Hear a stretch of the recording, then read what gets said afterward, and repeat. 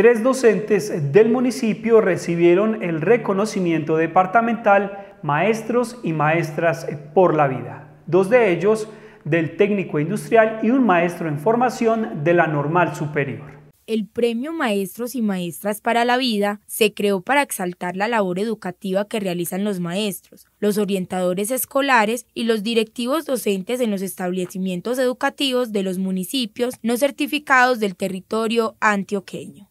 Que han participado con tanto empeño, con tanta dedicación, eh, presentando a nivel departamental esas experiencias significativas, esos proyectos exitosos, esos proyectos de investigación que cada uno de nuestros maestros eh, implementa todos los días en su quehacer educativo, en su sede, en su establecimiento educativo y que fueron pues reconocidas desde la Secretaría de Educación Departamental, eh, reconocidas, premiadas.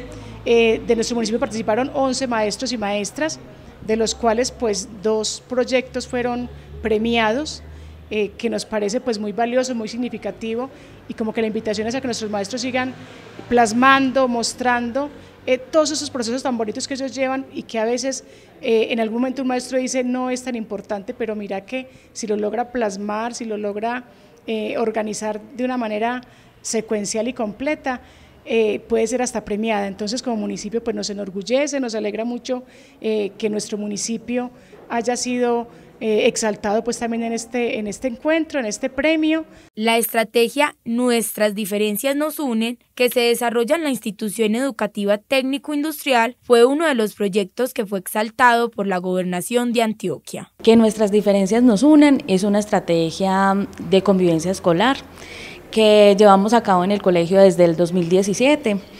Nuestros grupos son clanes, planes de convivencia, cada año se le da una orientación diferente, tiene una temática diferente, cada, cada año se ponen retos diferentes, mm, los chicos luchan por sus retos, pero también eh, por convivir mejor. Hemos descubierto que a lo largo de estos años, antes de la estrategia, había mucha violencia entre, los estudiantes, em, había mucha pelea y hemos logrado que eso disminuya. No, no se ha logrado pues erradicar del todo porque es imposible vivir sin conflicto.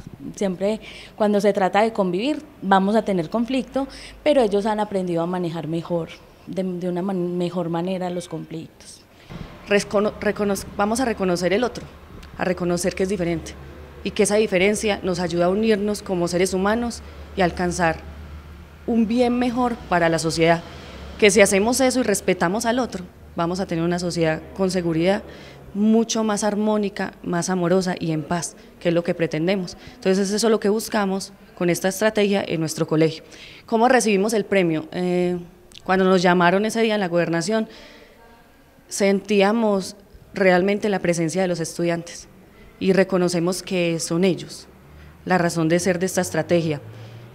Personalmente no dejaba de pensar en ellos en cómo se iban a sentir los muchachos que nos estaban viendo, cómo estos cinco años unidos a nosotros han logrado mejorar tanto sus relaciones sociales, que es tan importante.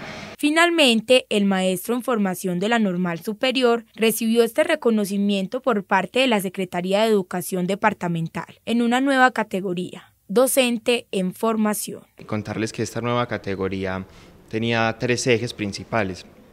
El primer eje era describir al maestro o maestra en formación desde su nivel académico, desde su disciplina y desde su convivencia dentro de la escuela normal. El otro eje era la descripción de aquellas actividades eh, o proyectos que haya realizado y que realiza el maestro en formación para el fortalecimiento de la escuela normal y del programa de formación. Ese fue un apartado que pues fue escrito por, por la coordinadora y por el docente que, que nos ayudó ahí.